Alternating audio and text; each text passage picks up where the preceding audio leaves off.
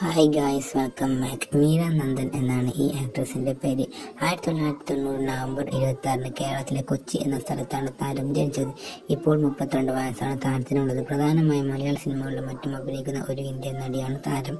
നടി എന്നതിലുപരി radio jockey മാതൃക ഒരു ടി വി ആതിഥേയയും ആണ്. രണ്ടായിരത്തി എട്ട് മുതലുള്ള സജീവമായി അഭിനയ രംഗത്തേക്കും മറ്റും വരാൻ തുടങ്ങിയത്. കൊച്ചിയിലെ എളമക്കര പേരണ്ടൂരിൽ നന്ദകുമാറിന്റെയും മായയുടെയും മകളായി ആയിരത്തി തൊള്ളായിരത്തി തൊണ്ണൂറ് നവംബർ ഇരുപത്തി ആറിന് മീര നന്ദകുമാർ എന്ന പേരിൽ മീര നന്ദൻ ജനിച്ചു. അവർക്ക് ഒരു ഇളയ സഹോദരൻ അർജുൻ നന്ദകുമാർ ഉണ്ട്. അയാളും ഒരു നാടിനാണ് എളമക്കര ഭവൻസ് വിദ്യാമന്ദിറിലായിരുന്നു സ്കൂൾ വിദ്യാഭ്യാസം.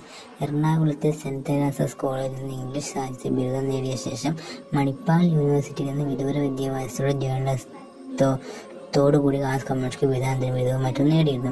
അതുപോലെ തന്നെ താരത്തിന്റെ ഒരു മൂവിയായിരുന്നു ലാൽ ജോസിന്റെ കൂടെ ഉണ്ടായിരുന്ന മുല്ല എന്ന ചിത്രത്തിൽ നായികി അവർ മലയാള സിനിമയിൽ അഭിനയ രംഗത്തേക്ക് കടന്നു വന്നു അതിൽ ദിലീപിന്റെ കൂടെയായിരുന്നു അഭിനയിച്ചത്. ലാൽ ജോസ് അയൽപ്പക്കത്തെ പെൺകുട്ടിയുമായി ഒരു പുതിയ മുഖം തേടുകയെന്ന് നടൻ ഇന്ദ്രജിത്ത് സുമാന്റെ വൈറസ് പൂർണിമ മീര ഈ കഥാപാത്രത്തിന് അനുയോജ്യമാണെന്ന് കരുതി അവളെ സമീപിച്ചു.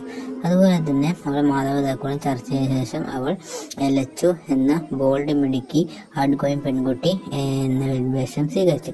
അത് അവരുടെ അംഗീകാരങ്ങൾ നേടി. അടുത്ത വർഷം വാൽമീകി എന്ന തരത്തിലുള്ള തമിഴ് സിനിമയിൽ അരങ്ങേറ്റം കുറിച്ച അവർ കുറച്ച് തമിഴ് സിനിമകൾ കൂടി ഒപ്പിട്ടു. കെ ടി കുഞ്ഞുമോന്റെ ഏ, കാതലക്ക മരണമില്ലേ അയ്യനാർ സൂര്യനഗരം രണ്ടായിരത്തി പതിനൊന്ന് ജയ് ബോലോ തെലങ്കാന എന്ന ചിത്രത്തിലൂടെ തെലുങ്ക് സിനിമയിൽ അരങ്ങേറ്റം കുറിച്ചു. മലയാളം സിനിമയിൽ സീനിയേഴ്സ് സിനിമയായ സീനിയേഴ്സ് അവർ വില്ലൻ വേഷം ചെയ്യുന്നത് കണ്ടു. സിനിമ എനിക്ക് പോലും ഒരു വെളിപാടാണെന്ന് മീര പറഞ്ഞു. സീനിയേഴ്സ് ഉൾപ്പെടെ രണ്ടായിരത്തി പതിനൊന്നിൽ അവൾക്ക് നാല് മലയാള റിലീസുകൾ ഉണ്ടായിരുന്നു.